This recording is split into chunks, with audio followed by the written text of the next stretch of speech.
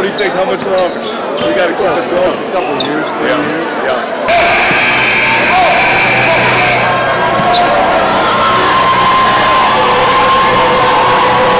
The 1995 Chicago Bulls